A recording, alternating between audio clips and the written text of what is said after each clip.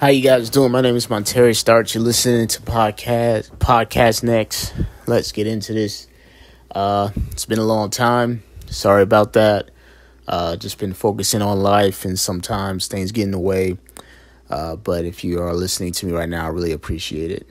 Uh, it may be only one or two of you, but I do appreciate you guys. I absolutely do. So let's get into this. I want to talk about, uh, you know, preachers with prophetic words and uh you know there's a lot of you know youtube you know maybe some tiktoks. I'm not on tiktok. Uh you know with people saying they're seeing things in the spirit and they're seeing things happen in dreams. And and and there is actually in revelation that god says young man will see visions and old man will dream dreams. You know in the spirit because he said i'll pour my spirit upon all people. And so there's a truth to that However, people are talking about these visions and they're talking about these dreams as if that matters so much. And even I do remember reading in the, the New Testament where Paul was talking about how man get puffed up by the dreams that they've seen and by their own notions instead of being rooted in what God has you know asked us to do for him and that's the great commission right so if you don't want if you don't know what i mean by the great commission is that when Jesus came back and he revealed himself to the disciples and ate the fish and the two loaves and and uh, he told them before he went back up before he went back to heaven from returning back from the grave he told them you know go out and make disciples of all nations teaching them to obey everything that he has commanded baptizing them in the name of the father son and holy spirit. That's what god ordered all his disciples to do. That was his order. That was his command for us all to do. And what I'm realizing is that a lot of people are talking about the prophetic visions. A lot of people are talking about the dreams. But they're not really doing what's necessary for us to be saved. Jesus told us exactly what we need to do. We need to teach people to obey his commands, everything that he's commanded and we need to teach, tell people to be baptized and to baptize them in the name of the Father, Son, and Holy Spirit. And to be at peace in our heart, knowing that He's with us till the end of the age. And so, uh, the reason why I'm sharing this is, as you know, if you follow me, I've shared some things that's happened to me in my past. It's very uh, discouraging to me, but maybe discouraging to you if it's a shock if you haven't uh, watch my prior videos that I placed on this uh, channel. But uh, it's the reason why I'm sharing this is because it's imperative that we do what God says uh, when it comes to how we get saved. So, uh, Exodus 20 is the commandments of God. It's what we're supposed to be following. Uh, and personally, I'm having trouble following two commandments specifically and it's very difficult for me, but I know it's a it's expected of me, or I will go to hell. And you may have maybe one or two commandments, maybe maybe more than one or two that you are struggling with, uh, and uh, and it, you can find this list of commandments in the Bible in Exodus twenty, uh, the book of Exodus, chapter twenty, and those commandments are supposed to be followed by us. Yes, Jesus Christ died on the cross. Yes, He died for our sins, and by believing in Him, we get you know, we are saved, but God also tells us in Revelation that those who are saved are those who keep the commands of God and the testimony of Jesus Christ, not just those who believe in Jesus Christ. God says, if you love me, you'll do what I say. And God orders us to love him with all of my heart, soul, and spirit. We are expected to love God, and God, and the way God sees love is us listening to him and obeying his word. And when we don't obey his word to God, it shows him in, a, in an extent that we don't love him. And I'm realizing that when I connect those dots. And, you know, I don't know if I said this before, but like God had me become a systems uh, engineer slash analyst for about a year at a Fortune 100. It was very interesting. I went to school to become a data analyst. I never thought I would have an opportunity to work with switches and routers and actually do engineering work and configuration of servers, decommissioning of servers. And the process that I had to learn was understanding components of components of systems, and just understanding how things connect and work with one another, uh, other than just industry, like industry, like uh, you know, aces in their places. You learn this when you work at like a, a restaurant. Aces in your places. That terminology: first in, first out, last in, first out. Uh, that type of jazz. And what I was learning uh, at his Fortune 100 was the concept that every subcomponent of a system creates a full component of a system that connects to another component. And when all those components work properly, the system works properly. Um, I, the an example of this is a subcomponent of a bike is the chain, and the gears is a comp is a component a subcomponent. And when those two subcomponents work together, they allow you to pedal, right? And then another subcomponent of the bike would be the pedals themselves, whatever they're made out of, plastic or metal, and the rods connecting to the gears. And then you have another subcomponent, tires, tires. Then you have the steering, and then you have the seat. All these things alone do nothing. Them working together create a bike. And that's what creates that system. And you power the system with your legs. And it's very cool to like when you kind of visualize and you take that in uh, about just everything that we can learn in the world. And I believe wholeheartedly that the Lord wanted me to understand that His word of Him expecting us to love Him does is determined also by how we live our life, and how we live our life is ordered by Him. It is not by conventional wisdom. It is not by what we think is good. Uh, that's why God says in the end, people say, Lord, Lord, then I do not do this and do this. And he said, Away from me, you evildoers, because sin is the transgression of the law. Therefore, those who sin are evildoers. So you can't transgress against the law, right? So you have to repent. That's why Jesus Christ tells us, repent and be baptized. Although Peter says, repent and be baptized in the name of the Father and the Holy Spirit. Because Jesus was telling the disciples, if you're listening to this, you most likely are trying to become one or are one that you need to repent. Repent means turn away from sin. Sin is the transgression of the law. Therefore, that means we have to follow the Ten Commandments. That is what we must do. You know, they're telling us to get provisions and get water and get food. You know, there's a lot of talk about, you know, the wars. I've, I've had dreams of seeing people die in front of me and me running from gunfire. I'm not going to lie to you. I, I, and I just thought those were just normal nightmares, but I've had those terrible dreams as well you know, seeing people like me, I can uh, me choosing between saving somebody or saving myself. And I'm realizing the only true way to save anybody is to get you to Jesus Christ is to get you to understand what he expects out of you and for you to actually understand that so you can begin to do those things. Right? That's what I'm talking about the Sabbath day is. It's not Sunday, it's Saturday.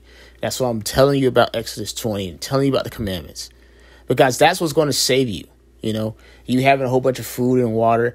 I mean, it'll keep you alive for a little bit, but then eventually, you know, God said the tribulation is horrific. It's horrible. If we're truly in the last days, like we all believe we are, it's not going to be good. We're going to go through something. Most likely nuclear. Yeah, I said it. It's going to be nuts. It's not going to be good. Uh, beheadings. Uh, you know, like you know, we're talking about Christians being killed for their faith in Christ. Remember, God says, then you'll be handed over to chief priests and you will be persecuted on account of me, right? So this isn't a game, right? The only way to survive this is to have is to serve God in spirit and in truth. And that's what God's looking for us to do. If we fake it for people, we won't make it with God and if we fake to God, He already knows, so it doesn't make sense to even fake it to God. But some people are trying to fake it to God and fake it to people. Let's just be what He expects of us. He wants a lot for us. He says for us to take on His hit, take take uh, the, for us to cast our words upon Him. For His uh, for His yoke is easy, and His burdens are light.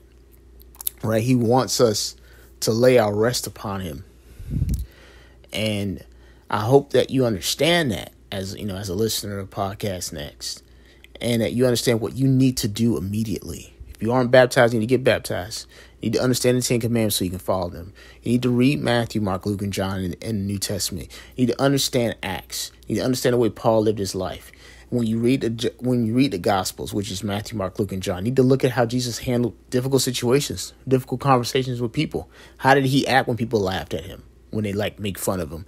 How did he? How did it say it responded? He responded to those things. Uh, there's one scripture I realized when Jesus said that the girl who had died was just asleep, and they all laughed at him. Like the whole, like the community in the house was mourning, and he said, "What are you guys doing?" She's just asleep, and they laughed at him to his face. Imagine that the Lord, literally the Son of God, being laughed at by regular average men. How did God respond to that? He just kept doing what he knew he could do, right? He focused on what he was sent for, right? So, you know, a lot of us are getting laughed at because of maybe some sins that we've done in our past that the devil wants to just be the great accuser and not allow us to move on. Let it be. It is what it is. Devil's going to do what he's going to do. Those that follow the devil are going to do what they're going to do. What are you going to do? Because your eternity matters, right? Our eternity matters, right? We're going to, God says, don't fear the man who can kill you. Fear he who can kill you and send your soul into hell, right? And, and I'm talking because th- these things matter. It matters for us. It matters for you, right?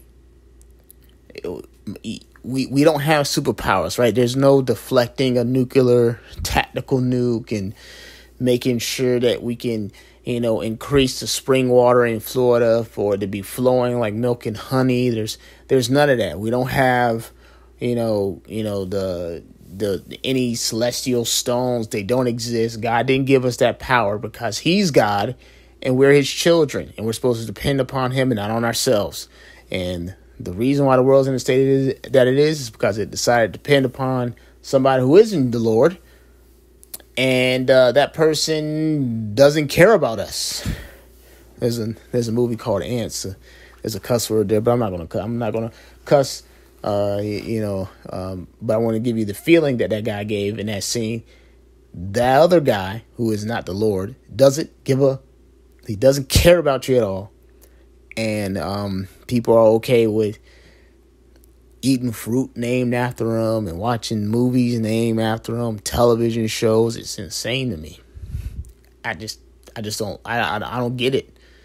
Uh, and they ask me like he's a mascot, knowing good and dang well it's worship, and it's so weird.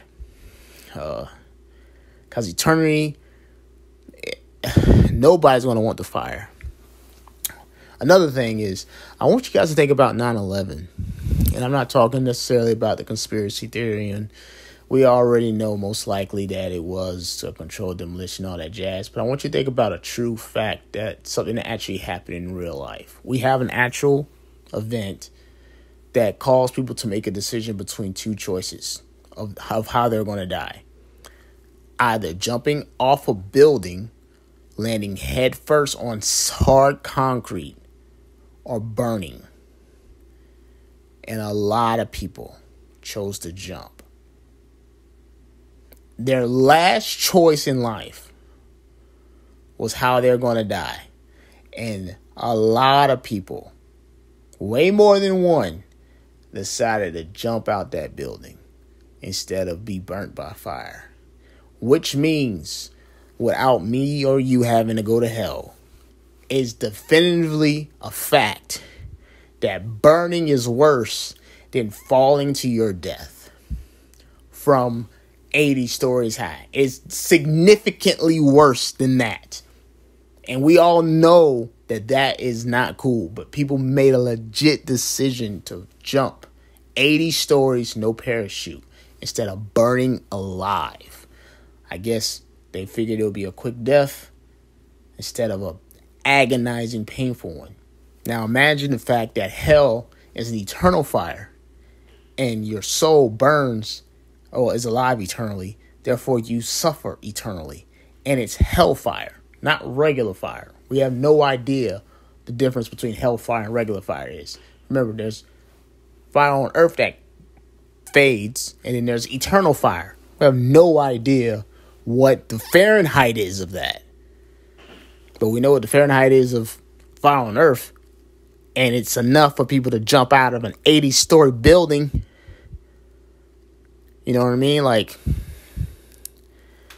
this is something that, or I don't, I don't know if it was 80 stories. I know it's really high. Maybe it was higher than 80. None, nobody, none of you want to go to hell. That's a fact. I don't care who you are. I don't care how you live your life. I don't care if you you do not want to go there. And I want you to choose God because He loves you. He died for you. You should love Him because He first loved you. And He wants the best for you. And He wants you to succeed. And He has plans to prosper you, prosper you, plans to give you hope in the future. He loves you. He cares for you deeply. He does not want you to suffer for all eternity. But he'll have to do what he have to do if you choose to choose this world, yourself, or the other guy who isn't God over him. All right, so start moving forward towards God. Make sure you don't look back. There's nothing this world has worth over God. Nothing. God made the heavens and the earth. And he's telling you straight up, he's way better than anything that man on this earth can, can promise you. Way better than a billion, trillion, cajillion, gazillion dollars. Way better than a, a, a, a trillion dollar company. Way better than all the fame in the world. Steve Jobs had a really good saying. He wasn't a Christian, obviously, but he had a really good saying. He didn't want to be the richest guy in the graveyard. Kind of profound. He should have told everybody, "I want to be saved to be with Jesus," just just because it makes sense. But he, yeah, I guess he decided that listening to God for him didn't make the the most sense, and he died early, and that's sad. Wozniak lived longer than him, and Wozniak grew up with him. You know, I mean, something to think about. You know, uh, tomorrow isn't promised. Let's do what God tells us to do. Let's go home. Let's not worry about hell. Let's worry more about getting to know each other in heaven and chilling and and getting over the horrific time we're about to go through soon, but we'll have an eternity to get over it. I think we'll get over it really quickly. You know, when we think about eternity, like the timing of it, like we have eternity, you know. I was uh, listening. To, uh, also, listening to SDA, uh, and he was talking about the thousand year reign with Jesus. I mean, imagine reigning with God for a thousand years. You know, p- before going to heaven. Like, I mean, I've only been alive what thirty two, a thousand years. I couldn't imagine. Well, what I'm gonna do my first hundred years. I'm like, I've been thinking like, what am I'm gonna do for my first hundred years of reigning with Jesus in heaven. Like, yo, I mean, like that first hundred years is gonna be insane. What are you What are you gonna do? You know, I'm I'm starting to think differently. You know, like I want to do what God tells me to do. So I'm telling you guys, because God's told me to tell you and teach you how to do it. And I you should do that too. And I I don't I don't want to be worrying about this being my only life. This isn't. It. I'm just passing through. This world's not my home, just like the song says. Um, thank you for listening. God has plans to prosper us, prosper me, prosper you as long as you listen to Him. Listen to Him, love Him. He wants the best for you. Thank you for, thank you for listening again. Bye bye.